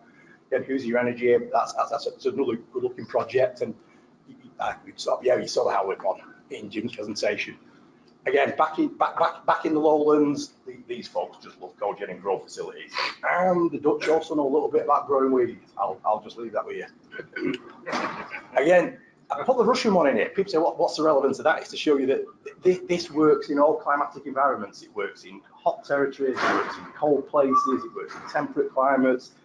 It, it'll it'll affect the technical solution. Is it cooling lead? Is it heating lead? You need a solution that will capture both. There's some pretty cold places up there, uh, and it, the technology has been widely adopted. And then this one's close to my heart because the Oakland Edge project is the 1989 project that I was talking about, first ever grow job I was involved in. They're still running to this day. One of the jobs up there that I'm not allowed to talk about is also a legal weed grow facility, which is interesting because marijuana is illegal in the UK. But it's all medicinal marijuana is exported to continental Europe. Uh, and it's the largest legal cannabis facility in Europe, including the Netherlands. Couple of final thoughts. I said earlier, we met people that kind of think they can do it, kind of think they can wing it. We don't just rep for these guys sell engines. We like doing turnkey problem, projects. So you have to deal with guys like me at the front end and the, and the sales and development phase. Then there's a bunch of really smart people that can do the engineering, the actual on-site install. We have all our own service techs, all our own commissioning folks, and we can support the thing throughout its entire life. But we employ all those people directly in-house. So we're not necessarily just bringing in consultants, bringing in third parties. Yeah, we don't employ the guys pulling the cables and welding the pipes, but the guys, suit the site super be one of our guys, the project manager be one of our guys, the ocean guy be one of our guys. And last thought, everyone kind of focuses on the tech, the big shiny bit, the big construction projects. I've been in this game a long time, particularly with stuff that's third party funded. The success of a project will be entirely dependent upon the quality of the operating and maintenance. You know, you, you can fix a problem in construction. That might be a six month problem. It might be a 12 month problem. You get the operating regime wrong. You get the wrong maintenance philosophy in there. You could be stuck with a 10, 15 year problem. and that will have a far bigger impact on your P and L than a couple of months overrun or a couple of thousand dollars overrun on, on, on a capital project. So everyone sort of looks at the equipment, doing, doing the clever techie stuff, invest as much time in it, making sure you get the operational arrangements correct as well, because it'll give you a fantastic project and a lot of headaches. And that's it, thanks.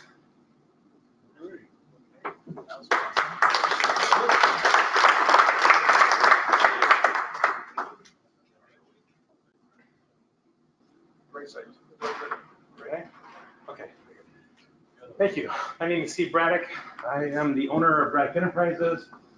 I've been in the, the business for almost 17 years now. Started off in the commercial industrial industry, helping to right-size buildings uh, in automotive, which is my background prior to starting the company 17 years ago.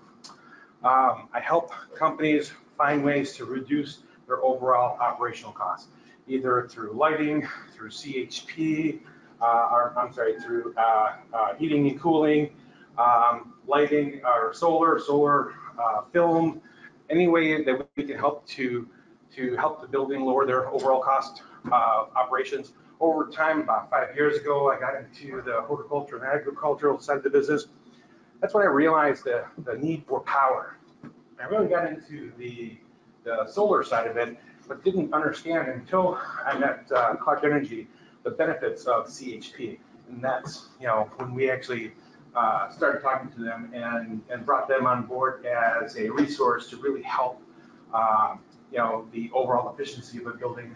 Once you break size your building and then you bring in power generation and the benefits from the cost standpoint, uh, were just phenomenal. And the paybacks that we've seen are, are just incredible. So with that being said, though, uh, thank you for uh, for coming, everybody, and uh, I guess we'll start off here. So, indoor cannabis grow uh, grow operations, improving uh, energy efficiency and sustainability. so, some of the outlines of the items that I'll be talking about today uh, are the elements of indoor controlled grow environment, complete grow systems, lighting, CHP, controlled dehumidification, which is that system, solar, vertical grow systems, uh, destratification, as well as roofing. so environments of an indoor grow room, uh, the building envelope, the lighting, the heating, the ventilation, cooling, dehumidification, uh, dominant HVAC. With that being said, also you know the delivery of the nutrients, which I don't get involved in, um, but those are key factors of, of a grow facility, and of course energy, energy supply. all the different areas that we support from a uh, um, complete products and services and getting into the power generation side of it. Can you see that? Very tiny. There it is. Power generation side of it. Uh, power operations from 5 kilowatts up to 10 megawatts. Uh, implementation of the system, the lighting, lighting design, even if it's a commercial, industrial lighting, uh, as well as your grow lighting system. Uh, gas cooling systems, vertical grow systems, heating, the CO2, a lot of what we've already talked about earlier, uh, destratification and dehumidification.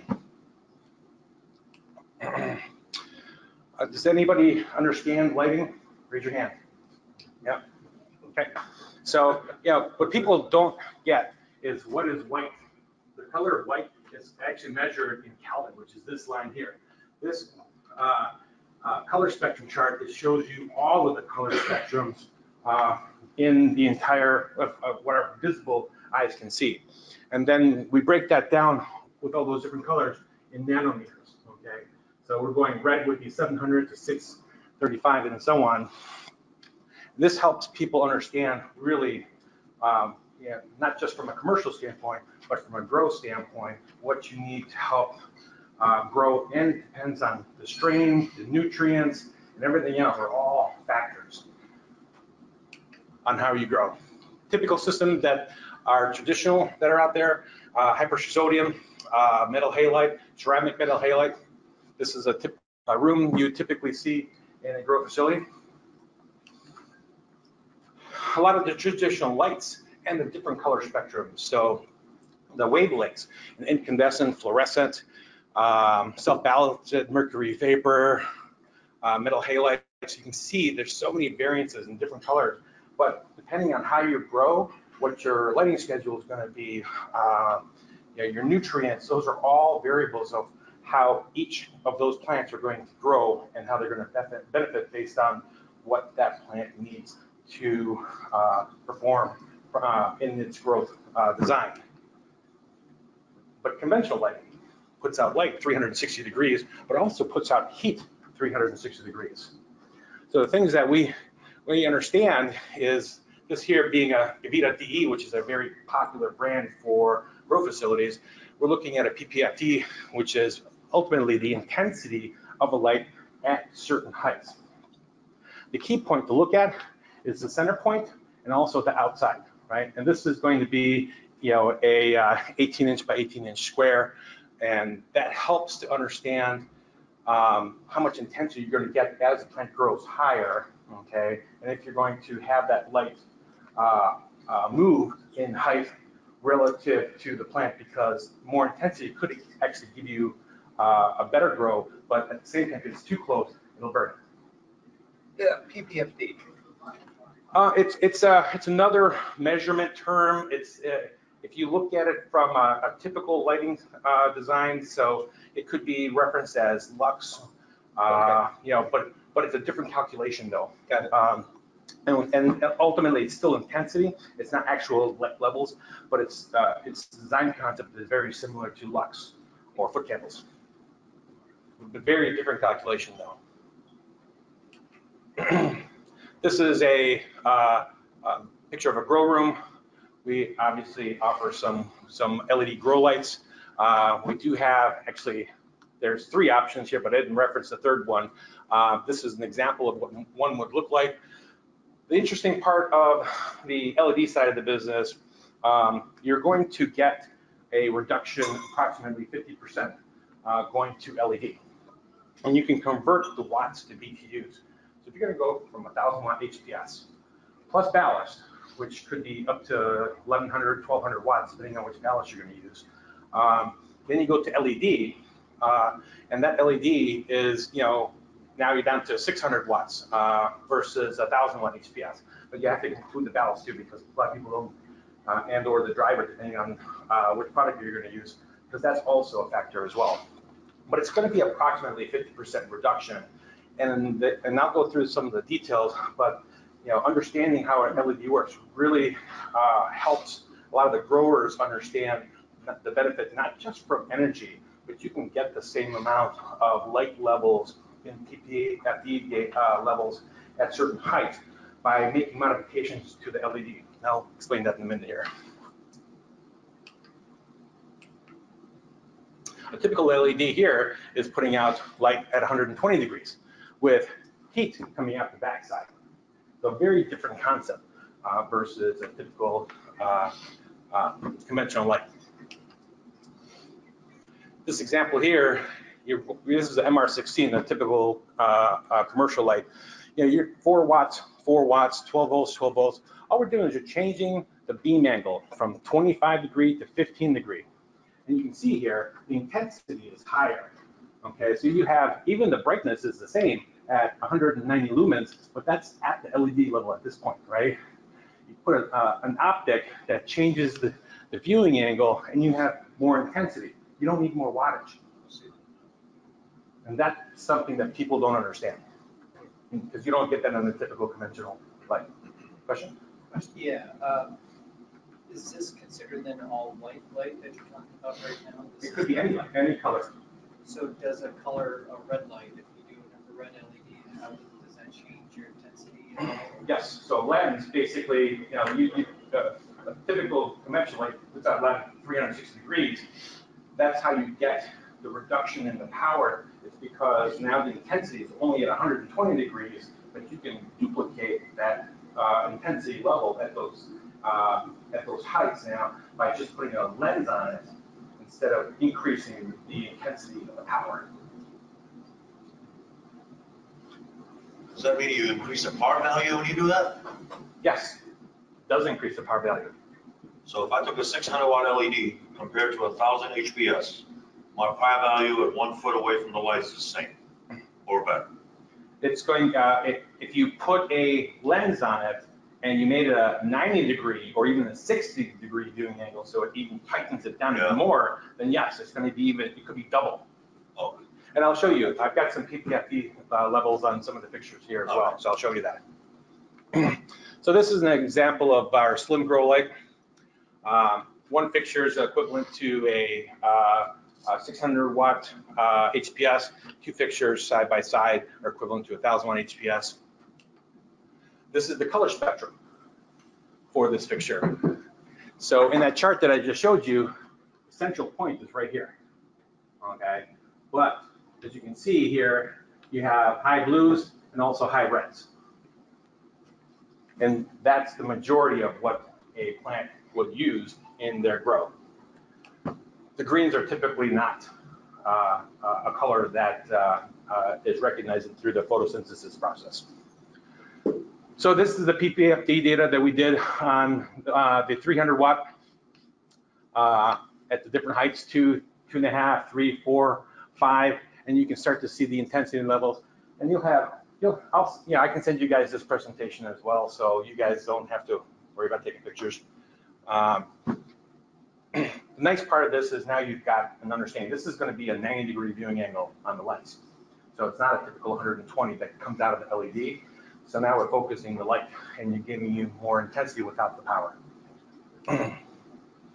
Our fixture here, option two, is our linear uh, light.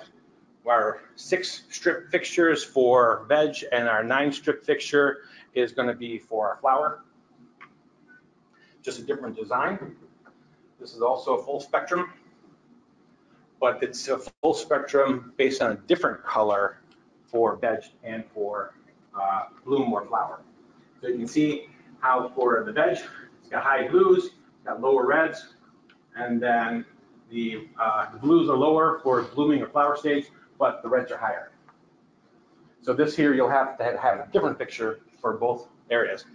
We're uh, bringing in another fixture, which is the third one that I referenced, but I didn't put it in here.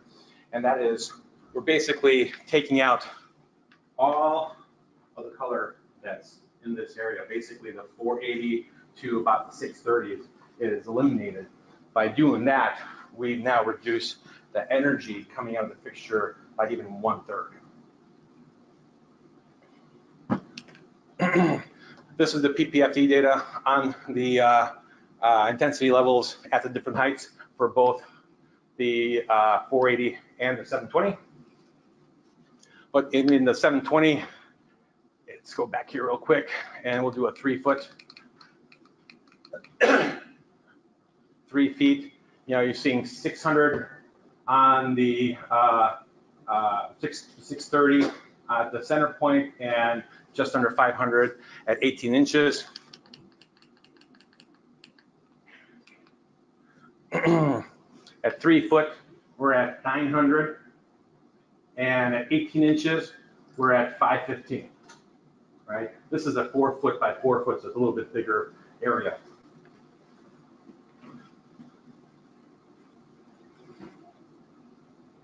Another thing that, uh, that we support are simulations. So what we do is we, when we do a, it's very similar to doing a foot candle evaluation, but it's a, it's a custom software. We're actually measuring micromole levels relative to the intensity at certain heights.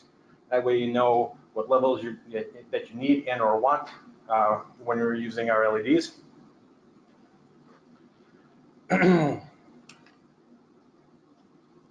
One thing that's very important, and there's a, there's a lot of issues in the marketplace right now. There's a lot of products that are uh, coming in from overseas. Uh, they don't have UL. They have a UL sticker. They're not really UL listed. It's important. It's UL. And it has a number underneath it that you can trace. Go back to UL, validate it. And the reason why, and I find this even in the commercial industrial side of the business, uh, there's a lot of people, there's a lot of people, especially in the cannabis industry, are buying a ton of products out of Amazon. There's no UL on it. Um, the, the, the issues are is, is really if the product fails and it causes a fire or damages your property or hurts somebody, your insurance is not going to cover you. So please make sure that it's a quality product and the UL is verifiable. So that's important. So another uh, electrical standard is ETL, which follows UL standards, as well as CSA, which is an, uh, just another organization, but they all follow the UL standards. Uh, The conclusion here really, uh, on the lighting side, is that on average, we're seeing about a 50% reduction in, in, uh, in energy. And just that alone, you know, you're getting uh, a 50% reduction in energy costs. So it's going to save you a lot of money. The hardest part is uh, that we've seen in the marketplace and time after time after time, we're talking to the growers. It's the grower who doesn't want to change. We're agnostic, but we want to make sure they understand if they go this route, what the benefits are and the cost avoidances that they could uh, use to support the growth of their own business, which is going to be about a 50% reduction. What do you see, what is the average amount of LED lights out there in the market? I have not sold one yet. And I've been doing this for three years. Colorado or Washington? I've never seen one, never been to a grow facility that had LEDs in it. Everybody's using HPS or ceramic LED. Is that a function of first cost? No. It's a I use function- LEDs in my bedroom. Yield too. Yeah. It's a lower yield. And uh, the draw on them is 1.6 amps compared to my other ones that were 3.9 amps. So it's about a third for me, uh, lower cost, you know, lowered it down to a third of what the actual cost was. That's the ones what I'm using. I've seen them in Canada. I was I'm driving, sure his are better. I was driving uh, towards Buffalo, across to my daughter's at UMass, Massachusetts, and I saw, it's a night, it was a big purple glow. And I looked, looked it up online, it was a big, it was a cannabis facility, glass house with uh, LED, purplish, that purplish yellow, or the blue, blue, uh, red. Making a statement. Yeah, the only reason why we're bringing in even our third light is because we're seeing that the purples are a preferred color for the flower because if it's gonna be for uh, recreational and or medical, there's, there's the, the terp count is very, very high. So that's why we're bringing on the third, the third light, and it's specifically, it's a purple light. And then, of course, um, you know, with the benefit of the going to LEDs, you also have the 50% reduction of heat that's coming out of the fixture as well. So now you have 50% less of uh, heat that uh, that you have to think about, uh, you know, bringing in a, uh, a cooler or chiller system to be able to cool down. So you have that reduction as well. So that helps a lot in the overall upfront cost. As we all seen earlier, Jenbacher system uh, Controlled dehumidification is another uh, area of opportunity that we can bring if somebody has uh, the need for increased uh, de- uh, additional dehumidification. But, you know, what I've seen is that cost is very high. And, you know, we've also seen that the current system uh, seems to have enough support to be able to offer this dehumidification as well. But, it- you know, it depends on what they're going to be growing. Could be a different type of vegetable or their grow process. I've spoken to a couple of, of customers where they're looking at, uh, you know, making their grow room into a tropical room because they want that, that high, you know, humidity, but at the same time, hot room as well. So, and you, that makes it even more difficult uh, to uh, control when you get into those types of environments. Solar is another area of opportunity uh, outside of CHP. So we'll come in, we'll do a calculation based on given area, and we'll calculate how much energy uh, can be used in this project here. It was about uh, 7.4 megawatts, uh, um, 7.4 megawatts of rooftop solar uh, that could have been used. We realized that based on uh, the, the payback analysis relative to uh, CHP, uh, we're seeing just on the power to power side that the payback was going to be about three and a half years on a uh, CHP versus the solar. So we mixed the solar program all to- all together. Vertical grow systems. See the guy down here? So basically, you know, these, this, these are walls of plants, right? So this is another way we can help to improve customers' facilities, um, where we've got plants on both sides uh, with lighting in the middle. Could be conventional lights, just as you can see, but also we're developing an LED version of that right now. Um, we took a facility uh, here in Michigan from 350,000 square feet of new construction, and we were able to reduce their facility by 90% uh, to 36,000 square feet. So by design, the original concept that they provided, the customer provided to me, was at 4,500 plants. When we developed the facility um, at 10% of the original uh, construction, we increased that plant count to 26,000. What, what type of plant was it? Cannabis. Yep. Destratification. So management of airflow. So uh, our system here, this is actually wall mounted, but we've also uh, used systems in where they're suspended in the ceiling. This helps to balance out the air within the building. Uh, good example would be Meijer uh, in this area. Uh, use it in one of their facilities and they strategically located and where they were actually uh, uh, uh, pushing the air that's, you know, heat naturally rises. So all the air that's sitting up in the rafters in the building now can softly be brought down. You're balancing the air within the facility. They were able to take two HVAC units off of their facility just based on using destratification. They use a big ass fan? Big ass. It's a small ass fan. Because literally, it's, lit- it's about this big, right? Okay. It's, this is small in comparison. And the cost of this is much less than a big ass fan. Is that one of those American engineering terms? I'm not sure. Actually, It's one of the manufacturing facilities, a lot of things. But um, for the uh, cannabis facility, airflow and air management is very, very important. So, if, you know, if you're not moving the air around, but you don't want to move, you don't want to make sure that, that the air isn't being pushed onto the plants. You want all that raised heat to be circulating. So that helps to balance out the air in the room. So that, you know, with that, if you put them onto the plants, you'll start to uh, cause issues with the growth process as well. May dry them out. And then uh, lastly, with uh, Energy Star roofs. So, yeah, what we'll do is in a new construction and or a retrofit is we'll put an Energy Star roof on your facility. We've seen uh, deltas of almost 20 degrees at the peak on the interior of the facility using this process. It's because what you're doing, you're uh, deflecting uh, the rays from the sun using a uh, white material.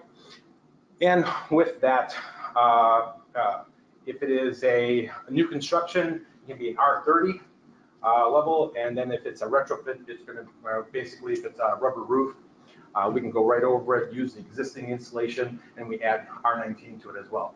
So we're still going to be well over R30. Uh, the nice part of this is, like I said, you know, there's a delta of about 20 degrees. We saw one uh, project where there was about 103 degrees uh, at the ceiling, and we were able to take it down to uh, uh, 90, uh, 81 degrees.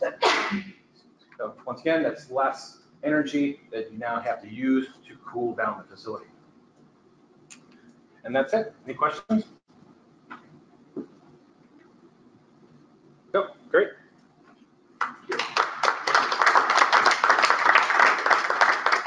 Step on your toes earlier. I saw the word summer or something and then I jumped up. Ah, no worries. But we have a nice crowd of folks here, different, uh, different parts of the business spectrum. I'd love to have you all stay and ask questions. Hope you've generated some, some thought processes and let's continue that to uh, generate some questions and some discussions. Uh, There's a couple magazines floating around. There's uh, CHP magazine. There's one, this gas technology that actually has a greenhouse discussion. But this, this one here, it says microgrids are energizing universities. And the last two pages is an article I found on the virtual pipeline. It's kind of cool. Talks about the CNG delivery. I haven't been able to price one of these up. I haven't had an opportunity to price one up yet, but it, it is an option. And there's many companies across the country that are doing this now. So it's, it's out there as a potential solution. If you really think you got to get going earlier, then you have, you have the gas for it at the moment. Uh, It's an option.